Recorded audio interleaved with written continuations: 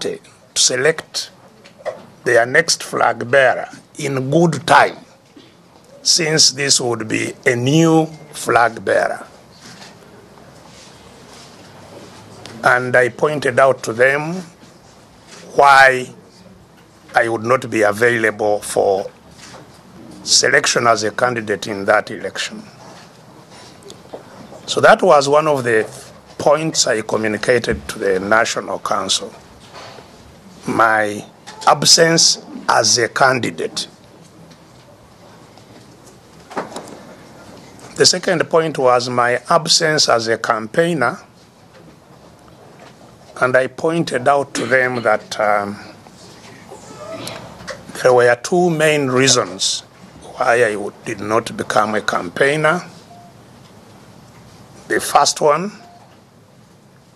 which concerned me, was the whole question of the funding that I had got very credible information on as having come from the very uh, place that we sought to uh, dislodge uh, from leadership. And uh, that we had tried to discuss this with our colleagues whom we were convinced were involved, and that those discussions did not yield any results. So, first, there was, at the very minimum, suspicion of hostile money having come into our party for the elections and from a source uh, that could only be hostile, which was not adequately resolved to certainly my satisfaction. But that secondly, as if to indeed confirm my worries that when the election, when the candidate was eventually selected, the candidate, as usual, selected a campaign management team, a campaign bureau, which is absolutely critical for a presidential election. Because a presidential election is an election, is a campaign that's held in the whole country and within a short time. And it's critical that there is effective campaigning going on across the country, even where the candidate is not and where the candidate has been. And it's also such a team that mobilizes resources that are necessary, planning and resources that are necessary for the conduct of the campaign. So a campaign team was appointed, but shortly thereafter disbanded. And so we had a presidential candidate without a campaign management team for the first time. Uh, and uh,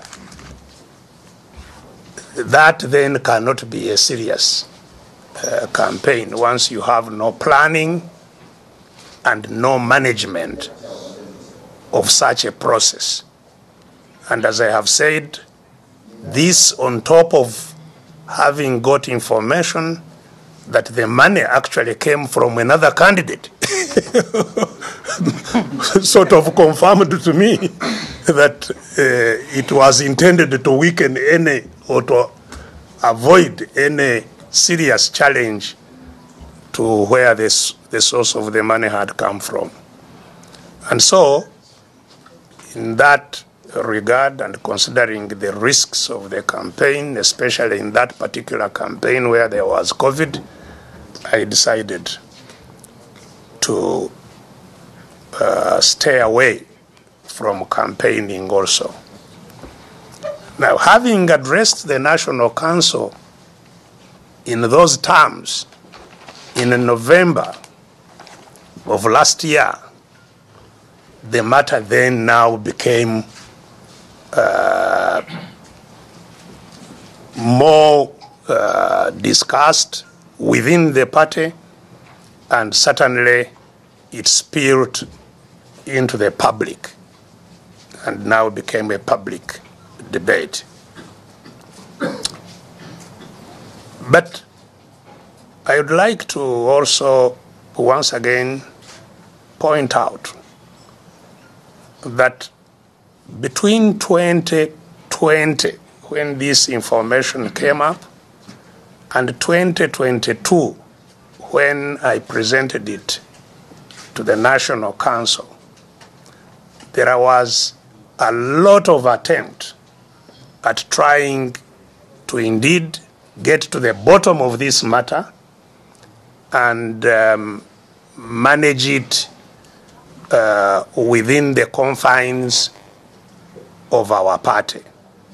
Because even if one may be without consultations, uh, made a decision to raise funds from such sources, uh, if it is understood that this has happened, it could be managed differently to immunize the party from the dangers it would face.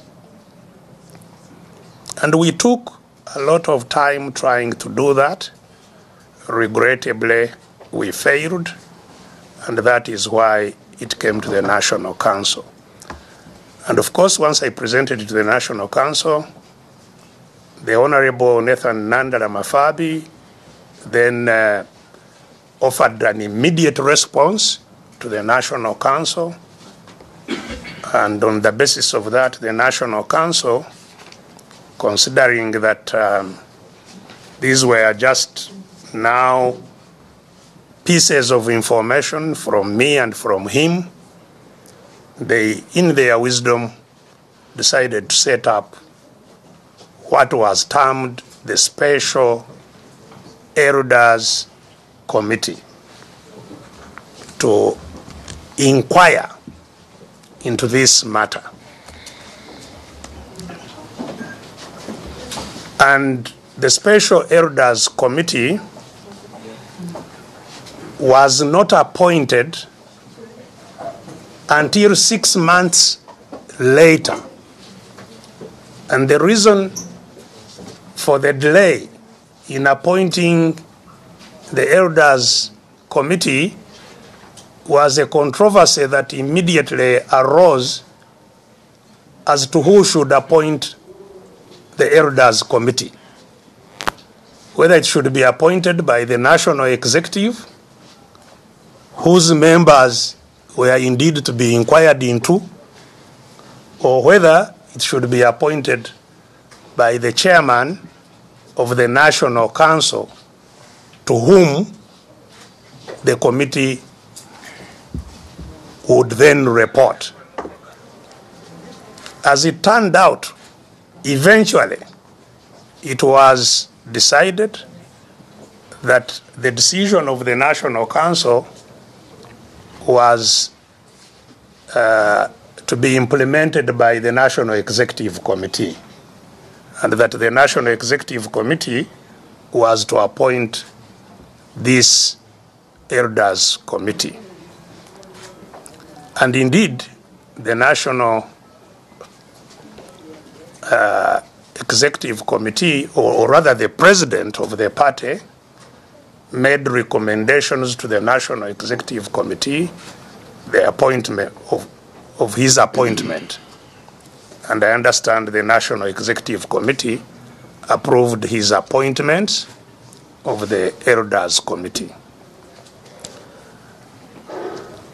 Now, that is I think where part of the weakness of this committee lies, in that it was appointed by the accused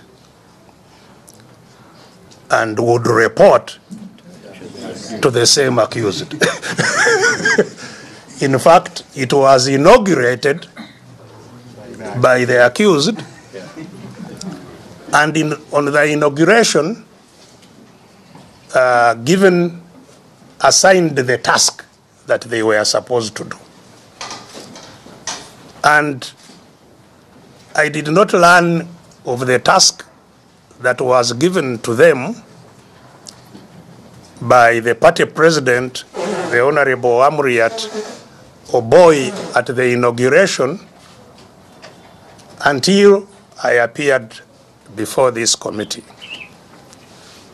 And uh, the task given to the committee was rather strange because their main task was then to reconcile me and the Honorable Nanda Mafabi. Uh, uh, and uh, uh, by so doing to bring harmony to the party. And I'm sure, I hope you have got copies of the elders, uh, this special elders uh, committee, because it's now a public uh, document. And uh, you will see what I am talking about contained in that report. That their mission was to reconcile us. Now, as I presented to the committee when I eventually met them, I did not have and I do not have up to now any personal matters, issues with the Honorable Nanda Ramafari. In fact, until this money issue arose, uh, I considered him uh, a, not just a colleague, but even a friend. And uh, it was on that basis, indeed, that uh, he entrusted me with 300 million shillings, which I will be also uh, talking about uh, at this uh, meeting. He entrusted me that 300 million shillings just between the two of us. There is no record of any kind, no acknowledgement, note, or anything. Uh, that could not happen if there were issues uh, between us. Uh, and so I told the committee that there are absolutely no issues between me and the Honorable Nandala over which a reconciliation is needed. That the issues at hand are issues of the party and uh, affecting the party and its officials, how the officials of the party are running the party. And, uh, and that I had indeed pointed out to the National Council that set up the committee that two things needed to be focused on one, the money, and two, the management of the party and especially of the campaign. And having said that, I went ahead and narrated to the committee what happened from the time the Honorable Nandala Mafabi entrusted me to keep his 300 million shillings up to the time I reported to the National Council. So I gave them the whole narration of what happened. And uh, I also pointed out to them that therefore they will help the party primarily by establishing the facts relating to the money. And that the facts would be found in the accounts of the party and the records of the party. Which accounts and records we had been inquiring into ourselves prior to my appearance before the National Council, but had been denied because eventually they said we were not entitled to such uh, information. So I, I thought that this committee now was going to help us get the facts. Because up until then, and I dare say until now, even as we sit here, nobody in the party knew where the money came from, how much it was, and how it was employed. Up to now, there is no, because at the time uh, this information came, there was an acting party president, the Owechitiibwa Joyce Nabosa Sebugwao, who of course has since left us. And in fact, in her departing uh, quarrels, this was one of her concerns that she was the party leader. Money came, and she didn't get any information of any kind about the money that came, where it came from, what, how it was used. In fact, she, uh, she said she had lent 20 million to the party because there was no money to be used, while at the same time there was money that was already in the party.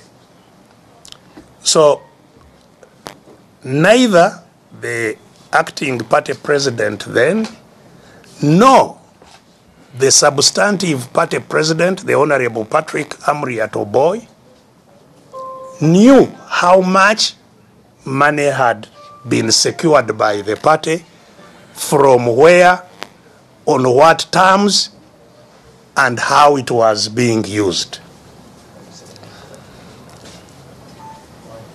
And so that's why I emphasized to the committee that this is the best help they can give to the party. Establish the facts. How much money came, whether borrowed, whether donated, whether stolen or whatever, how much money came to the party. How was it deployed?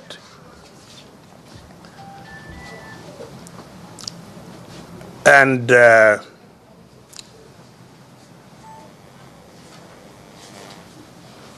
the committee uh, told me they were going to indeed inquire. They said they had many people to interview. And uh, that is what eventually they reported on in this report. Or eventually, we have now received their report. Maybe before I leave the committee situation, it's also maybe pertinent to point out that The committee had been appointed as seven members. One refused to take up the appointment, and I don't know what happened. So actually, only six uh, turned up uh, as members. One of the members is a vice chairman of the party,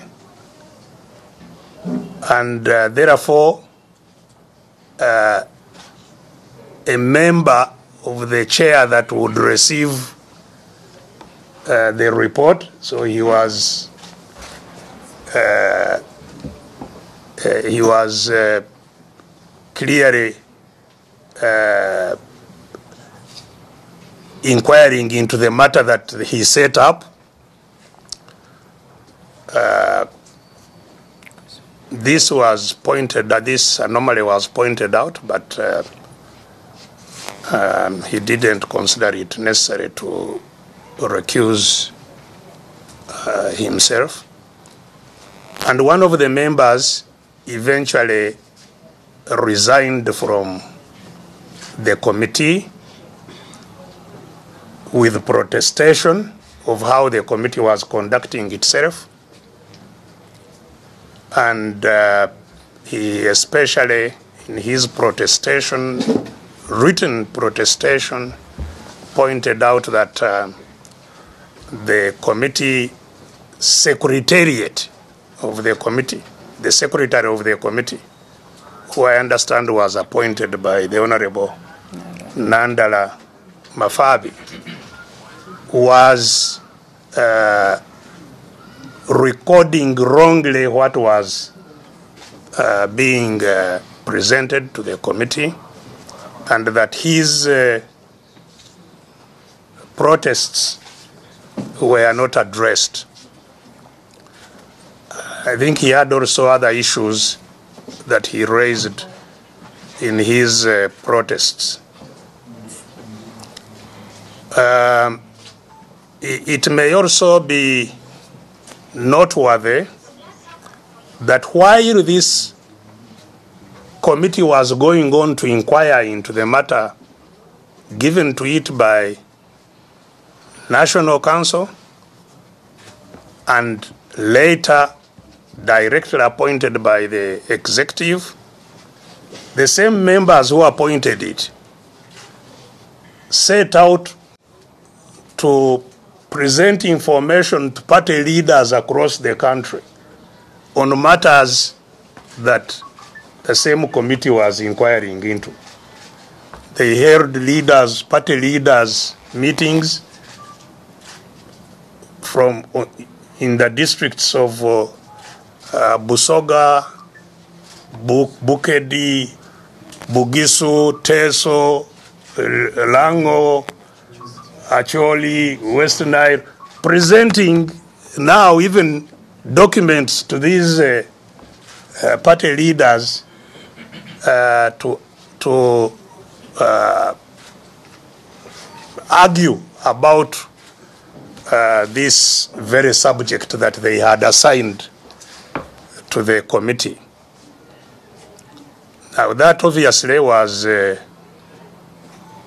violating this, the, the, the, the, the, sole, the purpose of, the, of setting up the committee. But even more concerning, in one of the meetings which sat in uh, Iganga, the chair of the committee of the committee of elders also attended where these violations were uh, were happening. And uh, you know I pointed out to him that this was uh, very imprudent uh, to say the least. So that is a rather long background to the report that we now have a report of the committee 19 page report which as i have said is now a public uh, document So, what does this report say?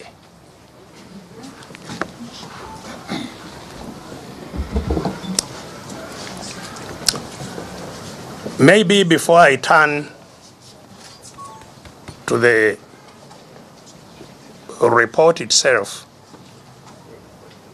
it is fair to give details of one of the things that uh, has uh, been focused on regarding this dirty money. And that is that 300 million that the Honorable Nandala gave me. First, the Honorable Nandala has been telling a lie to say that he told me it was meant for agents, polling agents in that election. Clearly, if he had said it was party money meant for agents, I would have provided the obvious uh, uh, solution that it should be placed on the party account. Because whereas him as a person would fear, and he told me the reason he was giving me the money was that he feared revenue authority, that revenue authority was demanding money from his companies. And that if he placed cash, that if he had cash on his accounts, revenue authority would pounce on it and that it would be difficult to recover it. And I know that is for sure happening with the revenue authority. There is the law they passed called uh, that gives powers of garnish, uh, where the tax body, if it if you owe it tax, they can confiscate money that is on your account and uh, pay themselves the tax. And if you have any queries, you go to the tax tribunal. And people who have suffered that injustice from revenue authority, once they go to the tax tribunal and they show that they did not owe revenue authority, revenue authority does not return the money even then. They say, okay, uh, sorry, we now have the we know that you don't owe us, so we shall keep on deducting this from your future. from your future obligations. so revenue authority is actually a thief. because that is really stealing. And this is going on widely. And that's why I had sympathy with the Honorable Nandala when he told me that he had tax issues with the revenue authority and that's why he was keeping cash out of the bank. But if he had clearly told me that this is money for agents, the party has no tax issues. So the money would have gone to the party account, if, uh, and if the party, uh, if the, the only issues the party can have with the revenue authority is maybe PAYE if they have not remitted their PAYE to the uh, to, to the revenue authority, which uh, certainly would be even then a, a totally different uh, different matter. So it's a lie that money was extended to me to keep for agents. party agents. In any case, this was September. The election was going to be in was it January or February? January. January. So why would why have to keep money for that long for for for for agents? So that is the first untruth. Having given me that money, as I have pointed out previously in other communications, it was about two weeks later that I got specific information of the dirty money. And uh, but maybe before I get to the, to the, to the information, uh, I told the Honorable Nandala that my home was obviously not secure because my home is always being surrounded and sometimes searched. So I say I told him I can't keep it myself. I would keep it somewhere, which I also discussed with him that could be safe. And uh, my first concern came with the arrival of the money. Because the money arrived at my home at 10 p.m. He rang me, we, he had told me he would send the money. We met here actually when he told me it was about 8 in the morning. But the money arrived at about 10 p.m. And he rang me saying that the other thing I talked about is about to arrive. And I, and I said, I said, but Nathan, where is it passing? Because this is curfew time. There was curfew then. And people were not allowed to move. And those who were allowed to move certainly would even risk to carry such money in the curfew time. But he said, Don't worry, don't worry, it's about to arrive.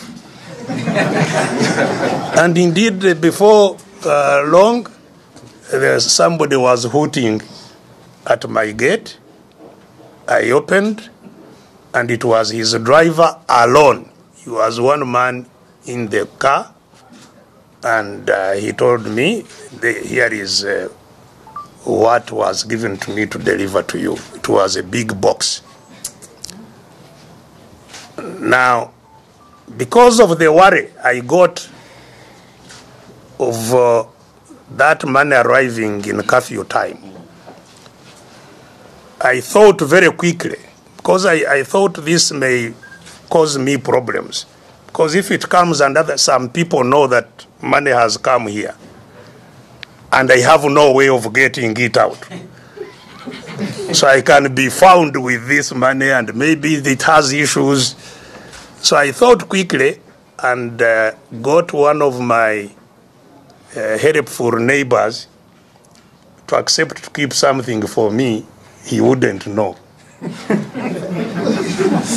and so I detained, I detained the driver, having given me the box. Well, when I received the box, I opened it.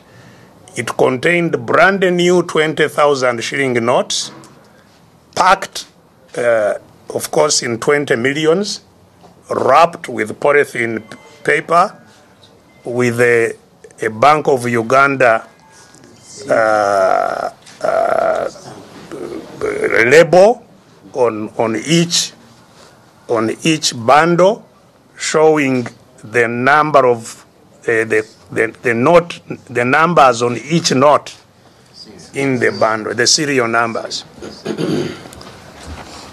and uh,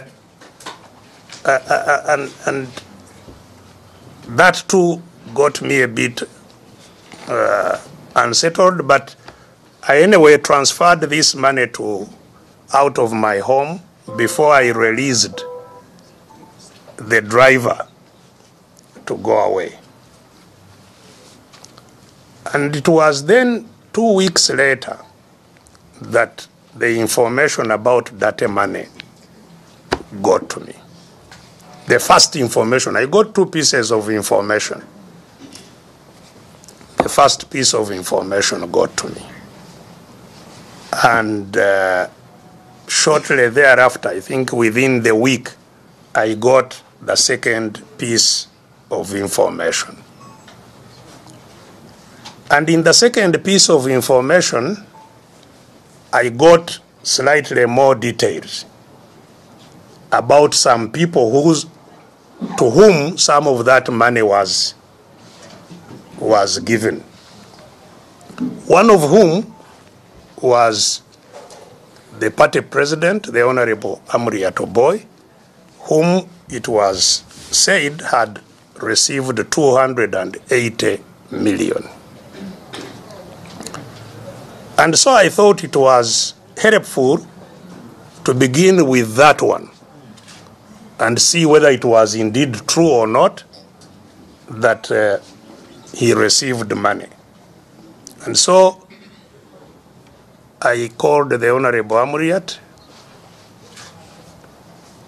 and we met and I asked him, Did you receive money from the Honorable Nandala? And he said, Yes.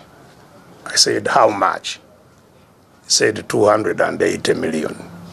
Did he tell you where it came from? No. Said, No. But in a NEC, we had passed a resolution that we should borrow money. So I assume that uh, this is part of what was borrowed. And I said, okay, did if it was borrowed, would you know how much? He said, no, I, I'm not even sure that it was borrowed, so I don't know how much.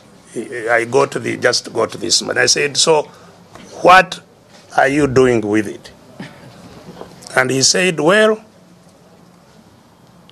at that time, he was moving around the country with the Honorable Wasswa Biriggwa in the primary campaigns for the flag of the party. So he said, I am using part of it in that uh, process, in the movement around the country, and that they had also agreed that while they are moving around, he should identify candidates and uh, maybe help some of them who needed some help. And he said he was keeping accountability.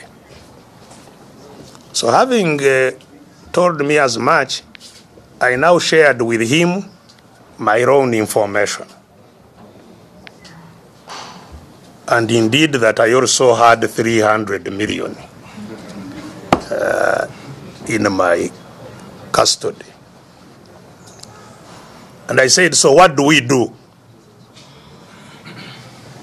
with this information?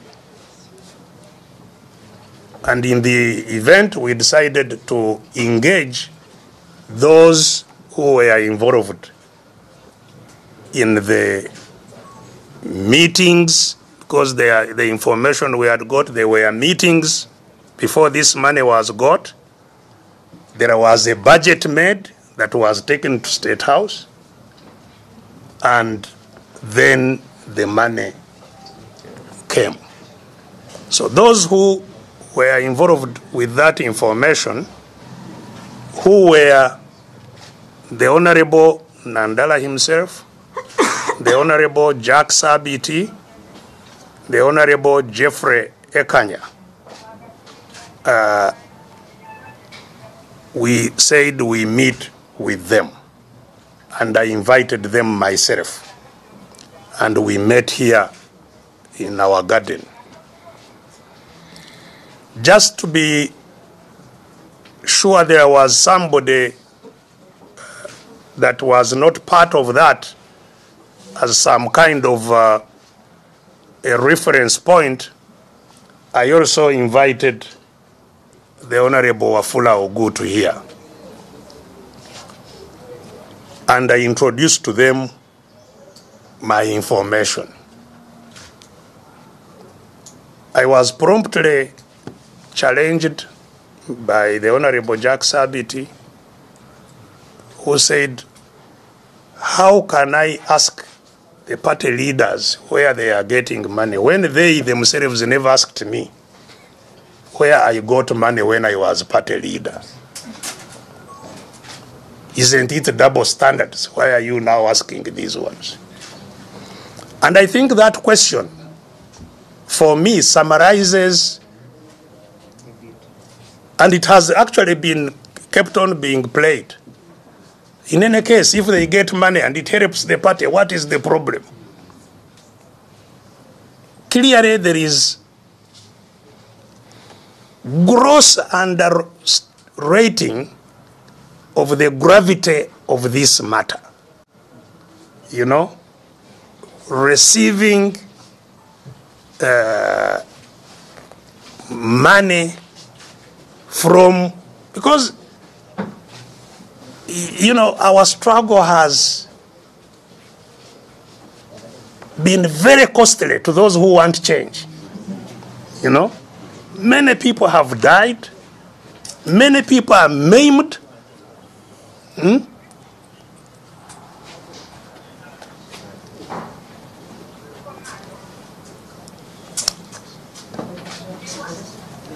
It's emotional.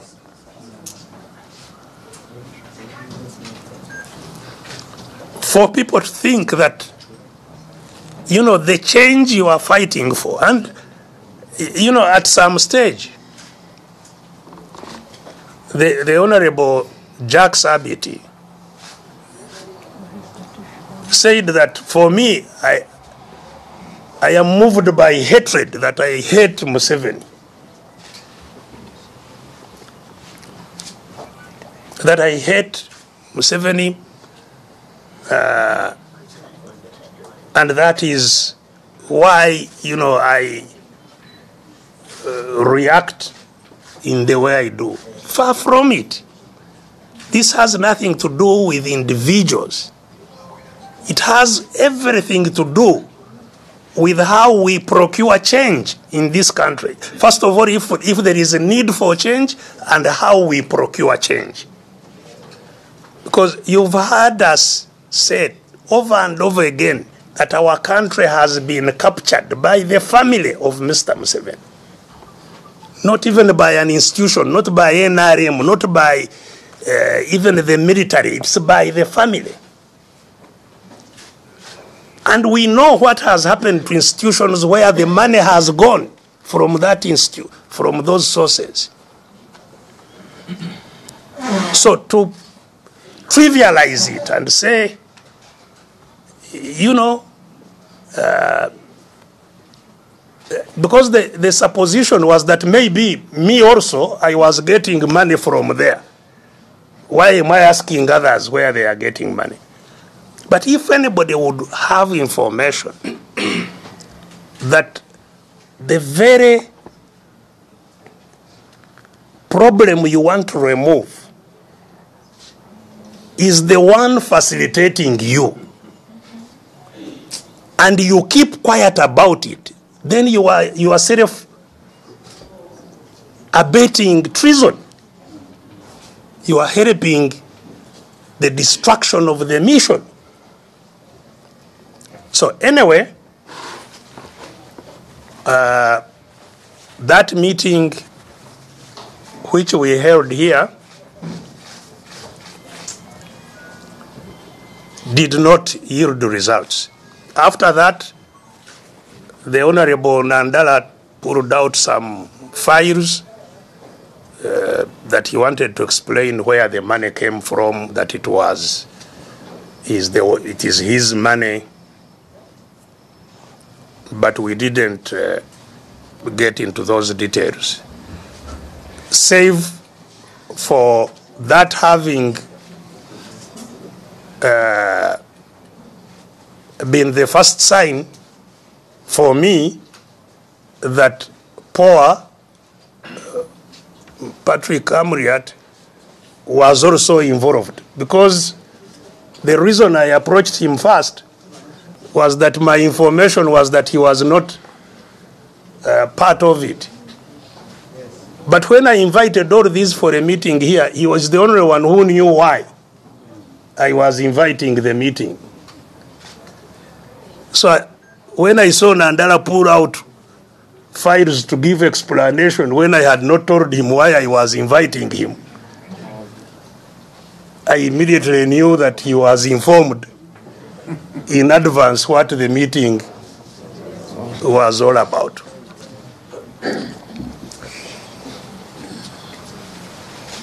We tried still, uh, shortly after that meeting failed to generate any progress, but it was clear that we would not make much progress, mainly because of the uh, election activities that were taking place at the same time. So we decided to uh, to sort of freeze the attempt to establish and manage this uh, until the election ends.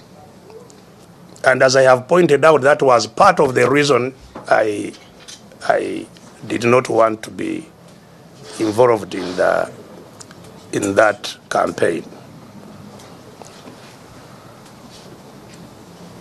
Of course, uh, we carried out the same attempt after the election, which uh, we have talked about already.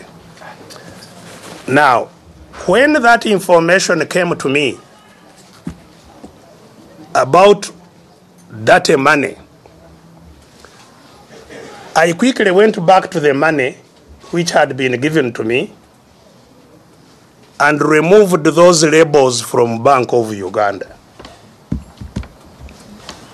which were showing the notes, the serial numbers of the monies involved. And that is because new money coming out of the central bank can be traceable when it is released to circulation. That's how they ensure that there are no counterfeits. The serial numbers are traceable. And especially if it is new money, like we had now, it's possible to know where it was released to. So I recovered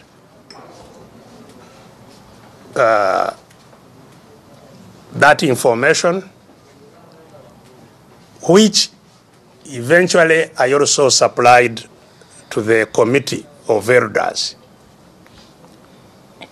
but which I also used myself to find out more information about, about this money.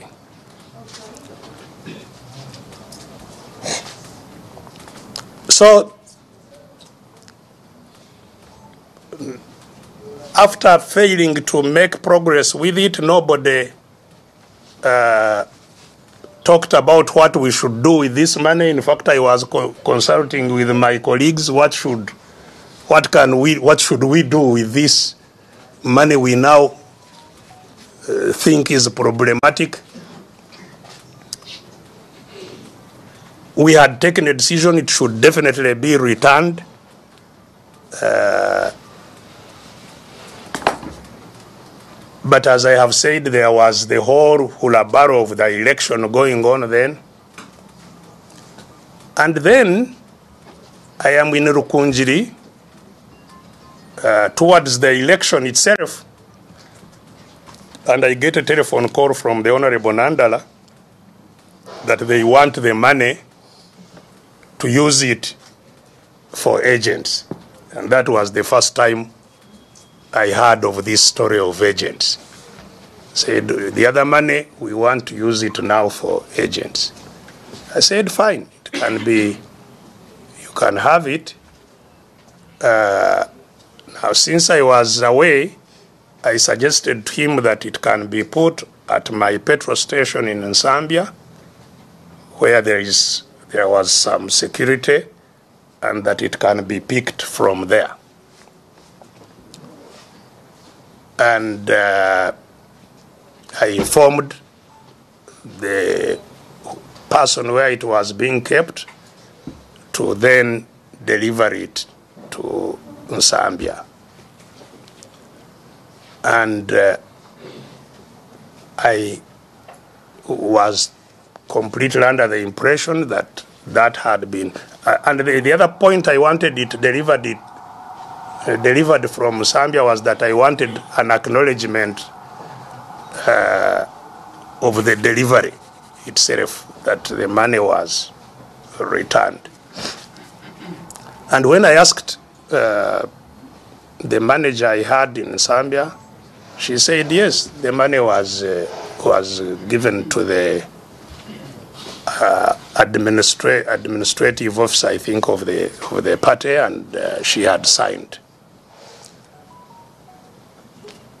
It's only now during this inquiry that I have had, so neither uh, the people in FDC nor anybody in, Zambia told me that uh, there was any problem with the delivery of the money.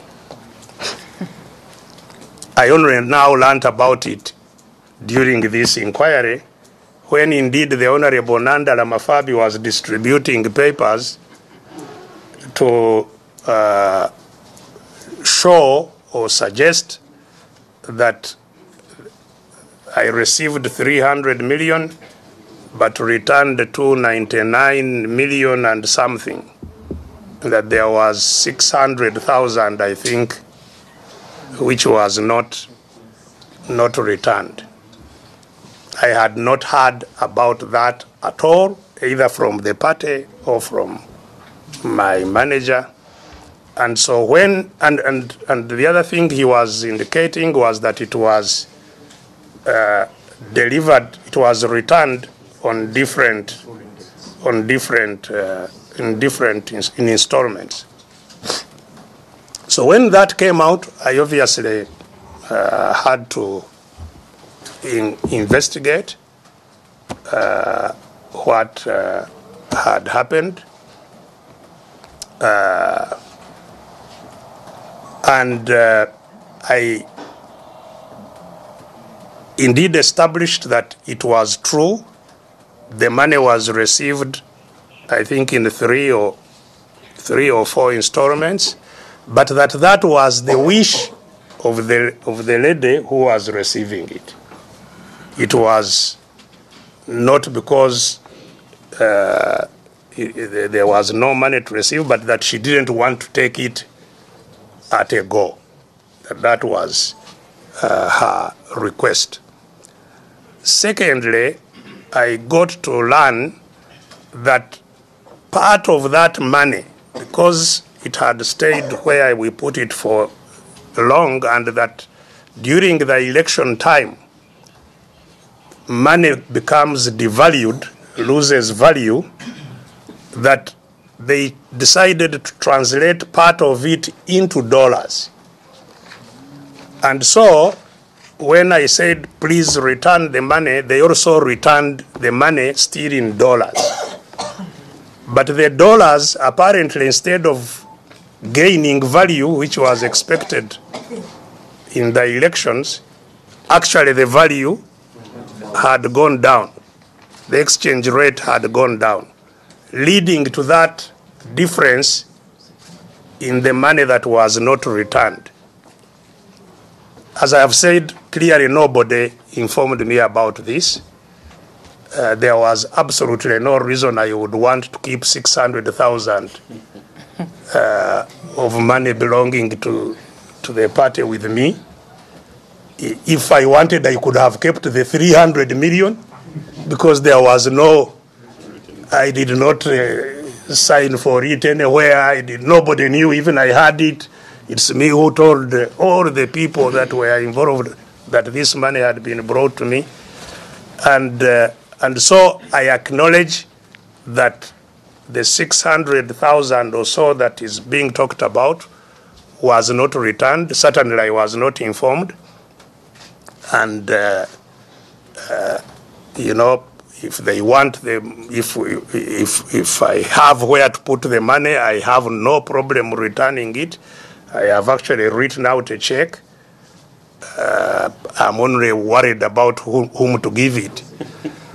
because because uh, uh, I wouldn't want it to uh, to to go into the hands that are dirty also.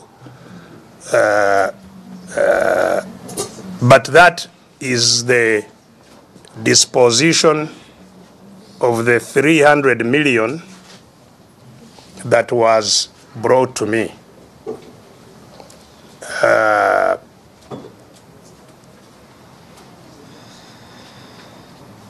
my suspicion is that this 300 million was supposed to be part of the distribution because indeed there were others who received and i think uh, uh, even if I had used it, there would have been. Eh, that- that's what I think was intended that I, I use it, but that's my own suspicion with hindsight now. Now, so let's go to the report.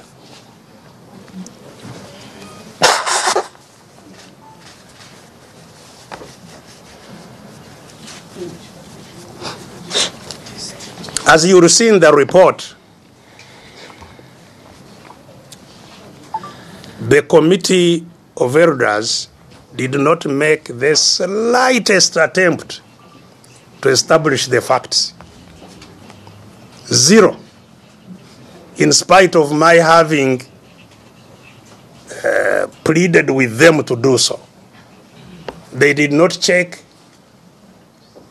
on the party accounts or party records. They did not improve the knowledge that we had before they were formed. In fact, their own their only written finding, their only written finding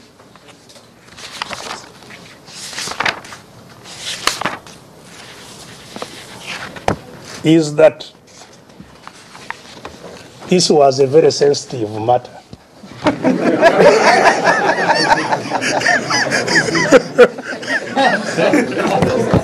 That's that's that's their only written finding, which they themselves try. That's that's the only thing they found.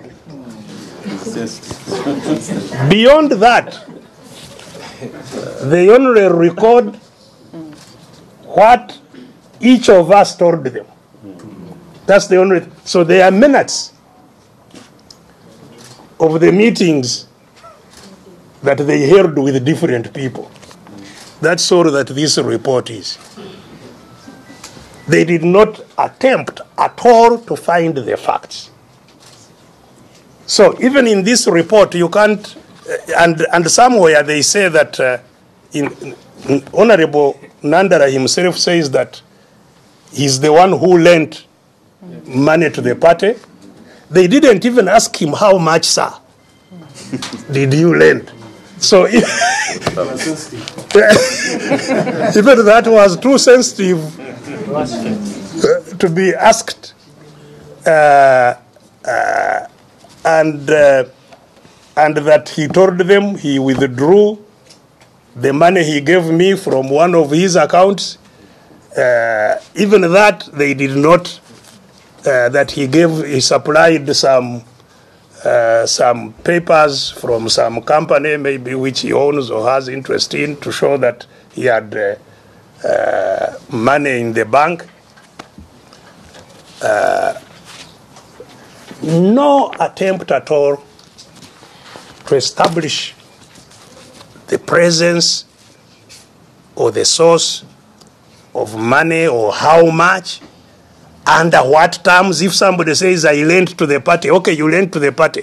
Is there an agreement between the lender and the borrower? I mean at least the committee would have established whether if there is there was money lent what were the terms? From who? Uh, and where was it where was it placed? Was it placed on the lender on the borrower's account where what happened to this where did the, the borrower put the money and how was it accessed? Nothing uh, is uh, is contained in this report. Indeed having found nothing uh, certainly not looked for anything and found nothing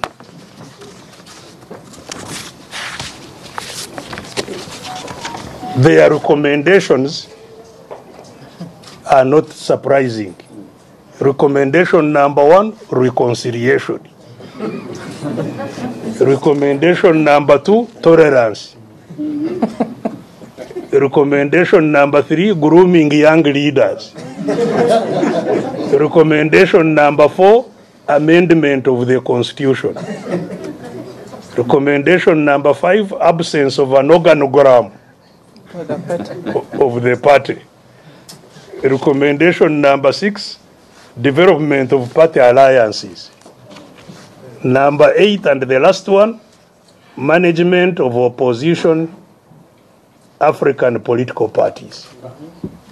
So, neither in their findings nor in their recommendations did they seek to deal with the dirty money. Save as, as I have said, just recording what each one of us told them. And even then recording it in a biased way. Because what I, as I have told you, what I uh, emphasized to them is not in the record of what I told them. And I have only been able to see this from their, uh, from their report. So, I don't think that the value of this report is even equal to the paper on which it is written. Frankly, it is totally worthless. S- Certainly, what it doesn't do, therefore, is to absolve those suspected of having got dirty money. I have been seeing in the media the report absolved. Where in this report does it absolve? Nowhere. It doesn't. Because it even never sought to do so. And I think the Honorable Nandala and his colleagues really did not do themselves justice by not using this committee, the opportunity of this committee, providing the facts that would indeed absolve them. Because they could have done so. They could have brought, like he said, he had borrowed, he had lent money to the party. He could have just brought the the documentation of the money he lent to the party. As we talk, at least from what I know of these some of these people who sit in NEC, nobody in the party up to now, nearly three years later, nobody knows how much money was borrowed or donated. Even if you want to keep the source, they say that the sources are, are sensitive. Okay, sources are sensitive. But how much money did come to our coffers? At least that should not be sensitive. How much money did we receive in our coffers? And how was it dispersed? And as I have said, I think the whole the whole attitude is because the gravity of this matter is grossly underestimated, you know, by the people concerned, but I think even by quite many in our uh, in our society. Uh, who say I saw somebody writing uh, somewhere on social media saying, but you know, we have been telling people that uh, if uh, money from NRM comes, you eat it and clean your lips uh, and, and ask for more. that is very true. You know, th- these bribes the movement brings out to our our population, it is their money. They, they, they can eat it. But money coming from Mr. Museveni himself to an organization that is seeking the end of his junta is not something comparable. I've, I've had people comparing it with uh, maybe getting contributions from people who have an association with the movement. That's not comparable. Even if they were cabinet members, there are many people in the cabinet who want change, actually, and who will quietly contribute to the struggle. Just like our members go at night to State House. Many from State House also come at night to talk to us. because they are also there, but they want change. So, yes, you can get contributions from such, but not from the very captor of the country, and you hope that that is, that is all right. And uh, there is no free lunch in this world. Any money that is paid has what it is supposed to, uh, to, to get in return. And what would be the motivation of Mr. Museveni paying money to his opponents?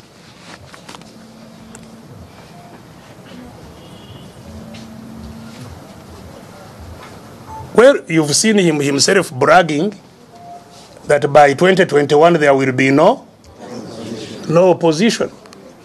That's what he was hoping to achieve by 2021. By what means was he intending to achieve that? Because people keep on talking, you know, you heard what was going on in DP. Oh, you are green outside, you are in Suju, you are yellow inside, you are green. And and and that where the money goes, you see a, a change in approach. And specifically, it seeks to achieve two things. First, to fight against those who seek change not through the means that Mr. Museveni would want them to do so, which is the rigged election. If you are campaigning for elections, he'll give you the money even because you know the election is within his control. But if you are agitating outside elections, you are the enemy. And we've had time to talk about the type of elections he's continue, he continues to, uh, uh, to organize. So that is one of the reasons the money is given. It's to undermine those who seek to use potent means to get rid of him, of the system that captures Uganda. Secondly, it is to stop cooperation of all those who seek change, the working together of all those who seek change, unity to fight and get out of oppression. This is uh, the purpose of the of the money that is received. Now, what is the impact of this dirty money to the party?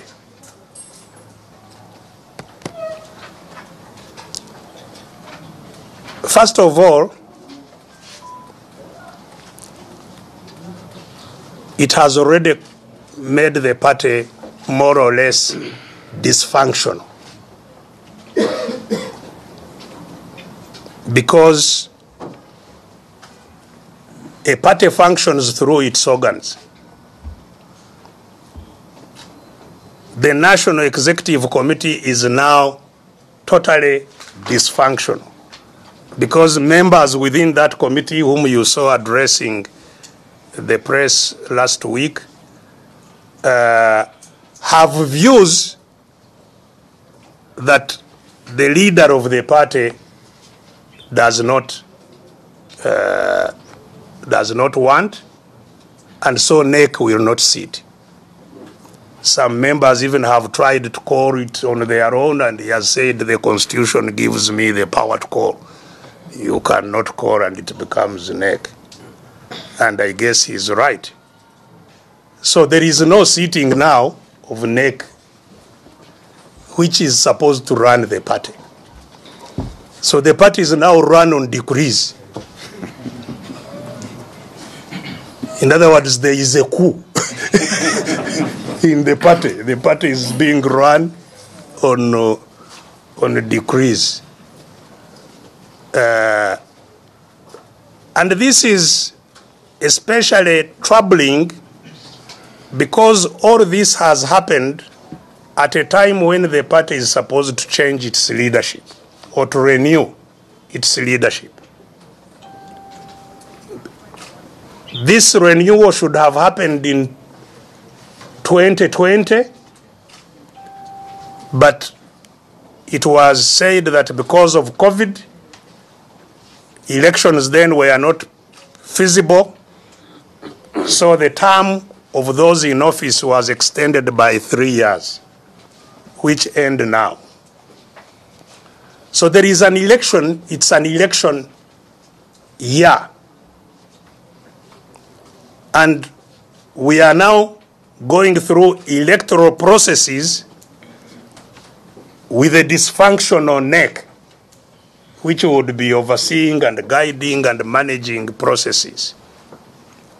And indeed, you have heard that NEC has decided some things, and I think that's when it ceased to, to sit. It it decided some things which were totally ignored, and uh, uh, those uh, who are managing the party at the helm continued in, re- in total disregard of NEC decisions.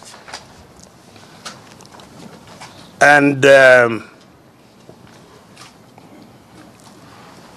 the Electoral Commission, which is supposed to organize these elections,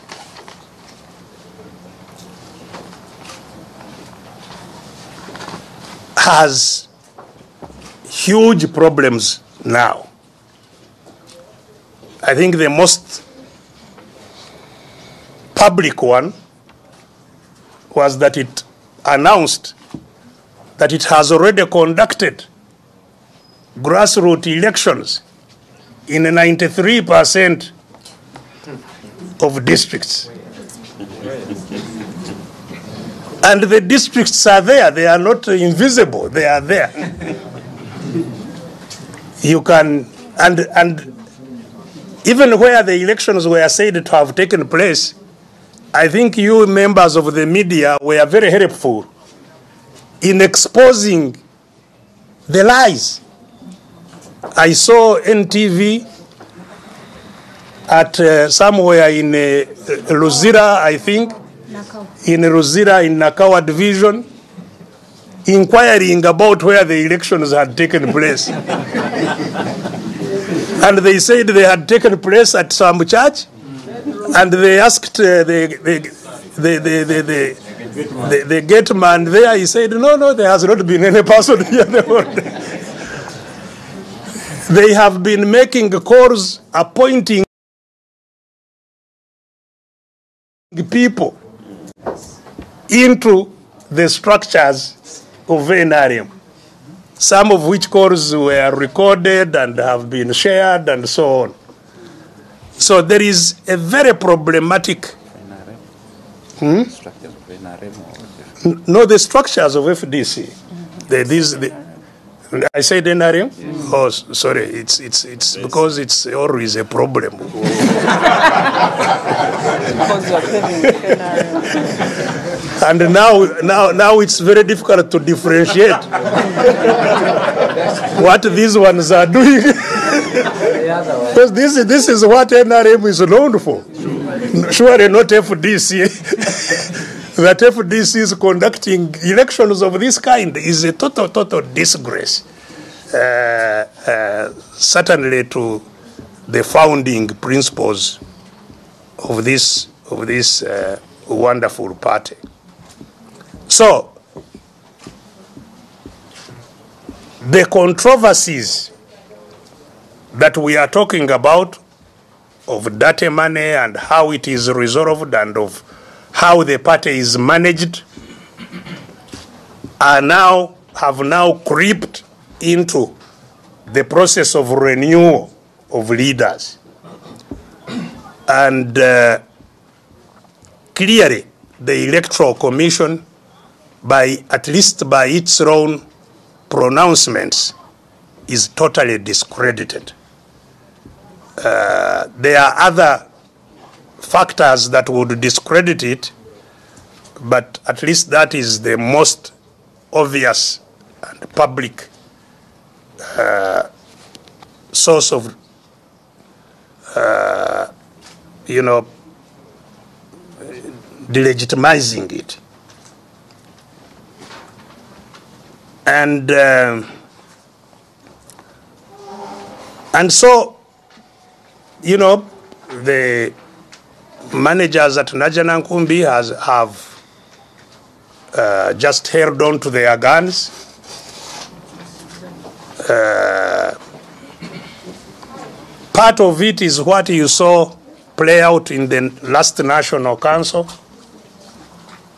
In the entire history of FDC, I have never seen anything anywhere near the chaos that I saw at Najjanankumbi, where the National Council was supposed to take place. Uh, and the people have been in Luzira, and uh, so on. Many were injured, and so on and so forth. Uh, and all the other scenes that you have seen, you know, which included beating up members of the media at our headquarters. All these are very, very troubling, but, you know, very real. So, where do we go from here? I think is uh, the last bit that I would like to to address.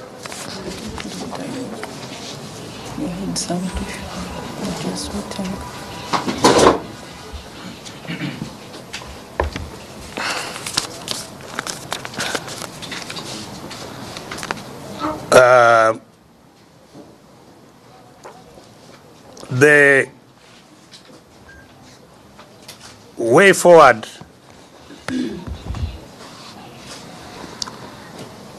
is obviously a very challenging one because one gets a clear sense that the leaders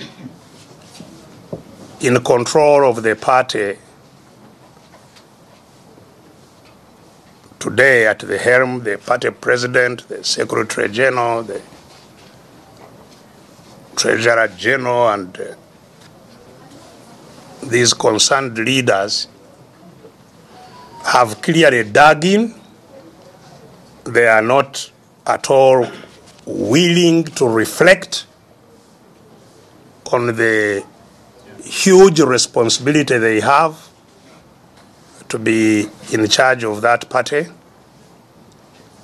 Uh, they are determined to move on, selecting leaders until they renew their own positions in the party at a delegates conference. So, in short, as I have said, there is some kind of a coup in the party. The party is captured.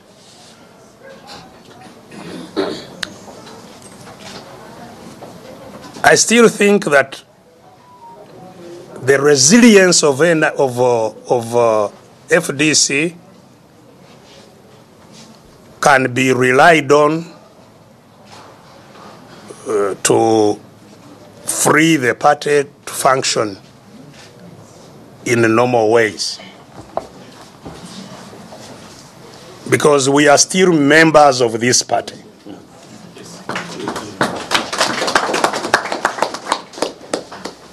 And uh, we must, even as we organize the liberation of the country, I think the members of the party have a duty to attempt at least to liberate their own party. One Uganda, One people, one people, one Uganda. Uh, the reason they are allocating seats and so on is to create a new reality. Uh, but I think there is still room to challenge that new, the attempt to create a new reality. Because if they had held a delegates conference, the National Council, I believe, will have to sit again.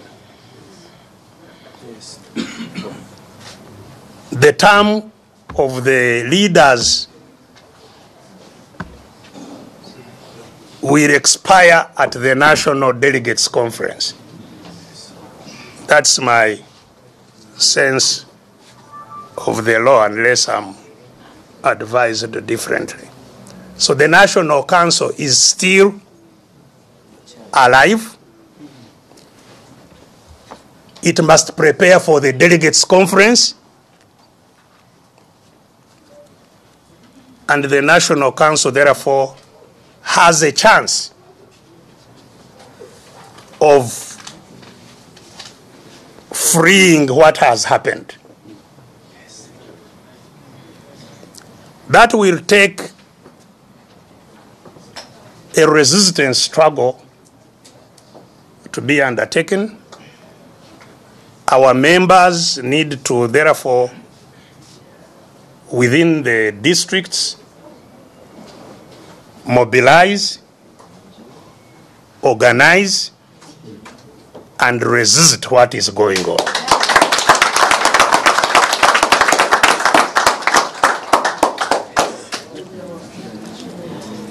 And uh, I know that um, there are many party leaders who are already working on a plan to now move around the country to touch base with the party owners and to mobilize to make sure that the party is returned in the hands of the owners.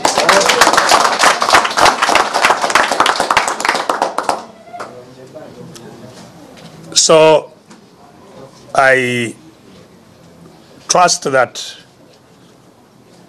a program of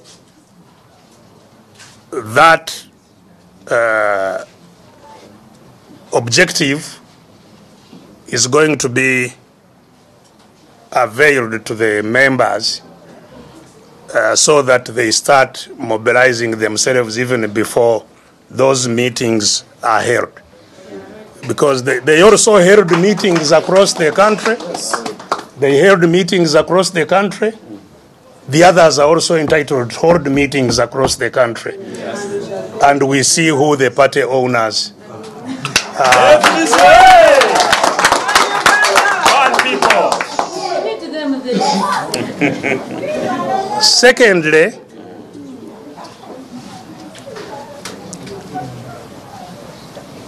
if that national council then sits, I think it has now no option but to create a transitional leadership that will reorganize all the processes to a new leadership.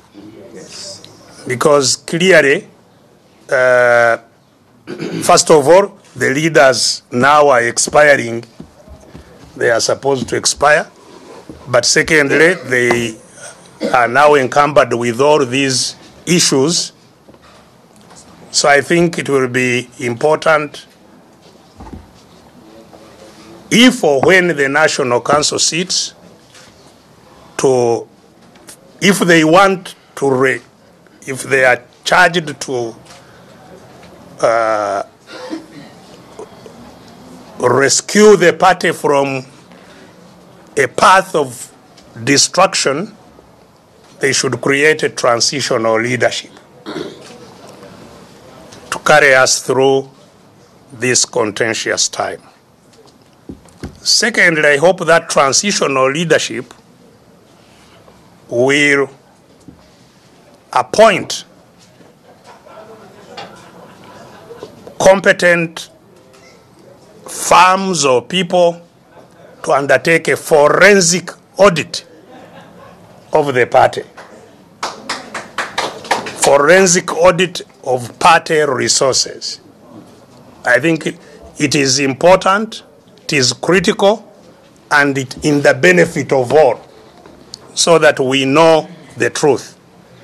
Something which could, could have we could have been saved by the elders committee if it had directed its mind properly. Uh, so I think because a forensic audit can establish sources of money, even when you say I'm the one who lent uh, the party, the forensic auditors can establish whether you lent them your money or somebody else's. The auditors are able to establish this. Money is traceable, where it comes from, where it goes. That's why uh, these days, because of terrorism, the major source of tracing terror money, terrorism is money, following the money. So money can be followed by forensic auditors and established, and we resolve some of these controversies and get over them. Thirdly, and most importantly for me, is that all these wrangles within parties have the effect and may be intended effect of diverting us from our main focus of liberating the country. That's our main focus. So we are held down trying to sort out in house issues and not paying attention to the capture of the country. We must be reminded that, first of all, these parties are being captured because the country itself is, is captured. So, if we were able to free the country, the parties would also become immediately free. So, our focus must not be removed from the liberation of the country. And as you all know, that is the central focus of what we do here at Katonga Road. At Katonga Road, we are not charged with uh, preparing candidates for elections, we are charged with uh, uniting all oppressed people to see that we resist those who captured our country and free it from them. That's what we do here. And therefore, going forwards, I think the people's government, which also has an elaborate structure of activists across the country. And the people's government has two structures actually. One which is seen and known, and another one which is covert, which is not seen. We have two structures across the country. It is time, even as these wrangles are being sorted out and as the liberation of the party processes are going on, it is a time that we also focus on the liberation of the country so that the two are not, one is not to the exclusion of the other one. And um, to that extent, the leadership of the people's government and its partners, we also have partners in the PFT in, and in other places, but the people's government to which we are primarily uh, concerned is going is already in the process of invigorating its leadership also so that we move we intensify the resistance against the uh, the capture of our country and uh, so the moving around of the country it means will be with due objectives. First one, the liberation of the party, but secondly, the liberation of the uh, of the of the country.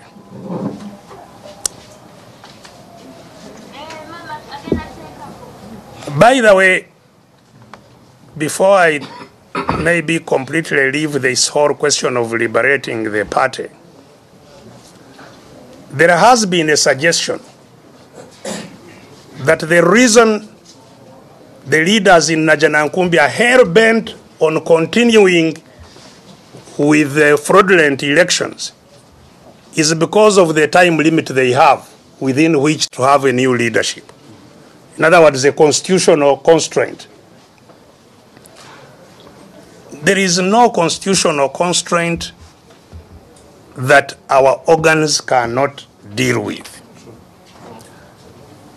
What is motivating them is rather what they have also said that we want to buy time for those who are aspiring to become leaders to get to know the party because they are new.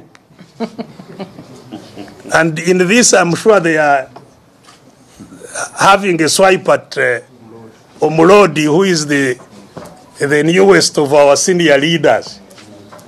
Uh, but even, uh, I think, Ssemujju, they say these people are new, are rather new. They now want more time uh, to, to, to, to, to reach out to members they don't know so that they become electable. And they think that that's a good enough reason to have fraudulent elections. Uh, I would rather think that if it is not selfish, even if there was time allowed for people to know the electorate, so that they choose the best leaders, there would be nothing wrong with it.